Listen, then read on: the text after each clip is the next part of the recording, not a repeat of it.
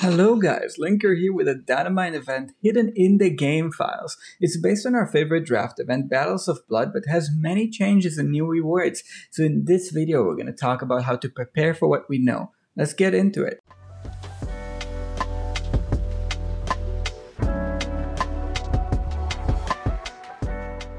Before we begin, special thanks goes to Grub and Hashi. Hashi is a talented Chapter 38 casual who I understand is the original source of this. While this is Datamine, I trust Hashi and Panaphonics' work as much as I trust my own, so we can be pretty certain this will come to the game.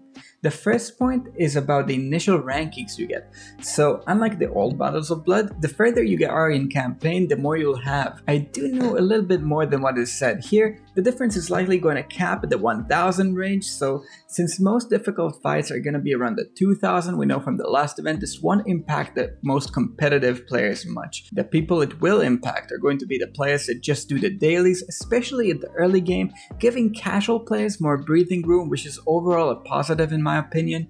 Unlike last time, RNG won't play as big of a factor, since the heroes will be shared through one deck, meaning both players will choose from the same set of heroes. The game will now be turn-based. Who goes first will still be random, but not all heroes will be available in that deck. They will also add some relic cards, which we will talk about more in just a second.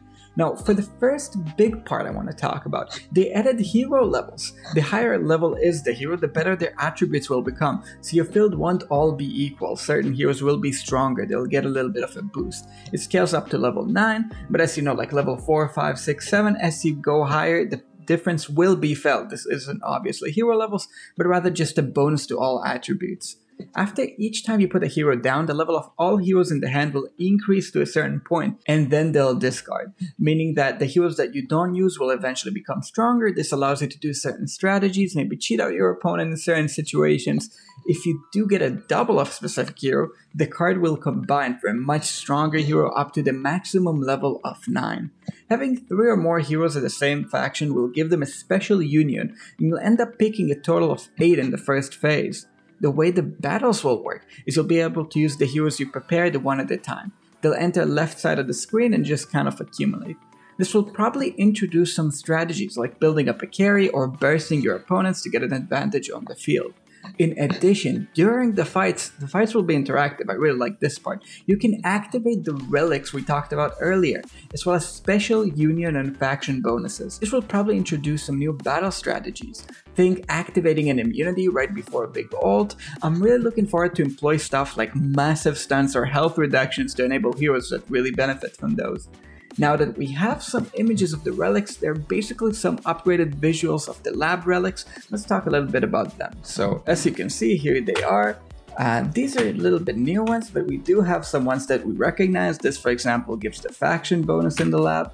These are obviously these uh, upgrades of the ones that we have. This is the one that recovers health every time that you finish. You guys probably recognize this one is the execution relic, so pretty interesting to see it back here. We'll see if it has the same effects. Along all kinds of uh, other interesting relics, some of which recognizable, some of which don't. I'm really looking forward to see how this interacts with specific heroes. For example, the haste is obviously going to be very meaningful. Execution may be disabling the idea with Ezio, but if we do have the big stuns, you'll enjoy that.